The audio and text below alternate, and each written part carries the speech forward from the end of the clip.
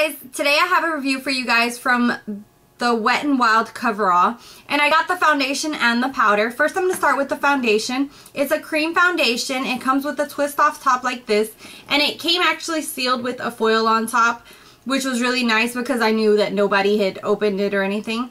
And then I really like that it's a squeeze tube. It's not as great as a pump, but it's not messy either where you have to pour it out. You can just squeeze it directly on your brush.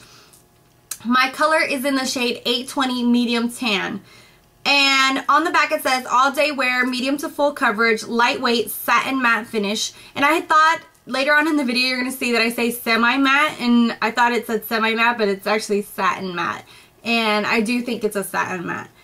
Um, Visibright Complex reduces the appearance of wrinkles and rejuvenates skin.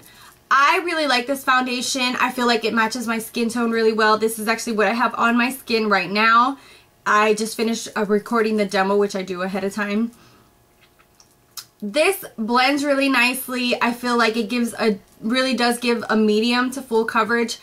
The way I apply it gives me more of a medium coverage and then I just kind of add where I need to hide, to help me hide my imperfections.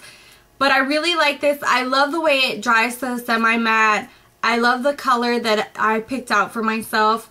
I have to say though, the range is really short. It only has around eight colors and most of them are pink undertones. There was only a light shade and then this medium tan that had yellow undertones. All the rest of them, including the shade above this one, the tan one, had pink undertones. So I kind of just went on a whim and was like, okay, I'm going to just try this out and see if this one works because I'm not going to put pink undertones on my skin because it's not going to go with, well with my complexion. So luckily the one that I did pick out did go with my skin tone and the, the yellow undertones as well. But uh, I guess that's good for people who have pink undertones, really sucky for those who have yellow. So there's nothing much you can do about that. Another thing is the price point. This is $3.99. I mean, you can never, um, let me not say never, but it is super, super hard to get a foundation for that much. And it had a dollar off coupon. So essentially this was three bucks. Next up is the medium, it's in, in oh, sorry, not medium. It's the Coverall Powder, Press Powder, and my shade is medium. Likewise, this has a yellow undertone to it. With the powders, I thought it was funny because most of the powders had yellow undertones and there was very few with pink undertones. So it was the opposite. Anyways, this powder, I really, really like it. As you can see, it does give a nice amount of coverage. And the really cool thing about this is that it doesn't have a mirror or anything like that. So I like the, the way that they kept, they kept, they kept the packaging nice and sleek and it does bring a little sponge here on the bottom, but I took that out. And on the back it says, all day wear, radiant weightless finish, Visibright. Again, Visibright complex reduces the appearance of wrinkles and rejuvenates skin. I don't know what this Visibright thing is, but I like it. it's always nice to hear when something has something to help you against wrinkles or whatever, but I don't, I'd have to really look up what it is and what it really does. But I have to say, I really like this combination. You Also, I got a dollar off of this, and the powder is $2.99 minus the dollar off. So it was $2 and $3. So essentially, I got powder and foundation for $5. So that was one of the things that also kind of drew me to it and wanted me to try it. And it's also from Wet n Wild. And Wet n Wild has stepped up their game with their eyeshadows. And they've been just really doing good on their products. So I really want to try out this new foundation and powder just to try out to see if it's as great as their eyeshadows. And I have to say it really is. Like I said, the shades aren't that great because there's not that many to choose from and the undertones and that kind of thing.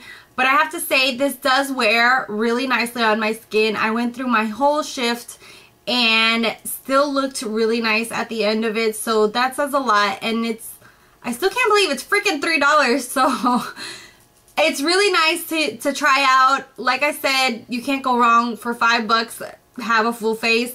Seriously um, And like I said, it, it does have around, I would say like six to eight hour wear. So that is really nice. Anyways, I'm going to go ahead and go into the demo because I'm going to keep repeating myself. If you have any other questions or anything like that, feel free to ask them. And if you want to see how this wears and what it looks like when it applies, just keep watching. I'm going to go ahead and get started and I'm going to just take my Real Techniques buffing brush. It's one of my favorite ones. And I'm going to just dot two squirts on there. And just stipple this around my face.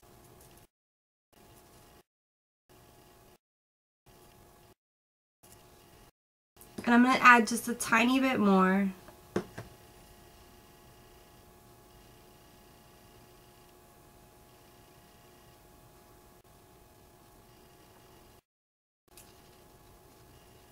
Okay, so this is what the foundation looks like.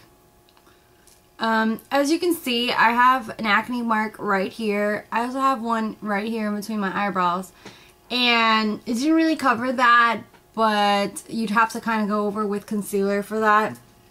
Most of my foundations don't cover those two marks that I have right now, just because how um, deep they are and how horrible they are. But to me, this seems like really, really um, medium foundation coverage. that I put on that has been able to cover those marks is my Kat Von D. So I wouldn't say it's like major, major coverage, but I think it's medium to full coverage depending on what you really need it for. If you have really strong acne marks, I would think that you'd have to need enough product to build it up and cover those marks. With me, I'll just add a little bit more directly on that spot to kind of just cover those areas. So as you can see, it's more like a semi-matte. It, it, looks a little shiny against the lights right now, but it does dry completely. I've been using this for around three or four days now. So let me go ahead and apply the powder. And this is in the shade medium.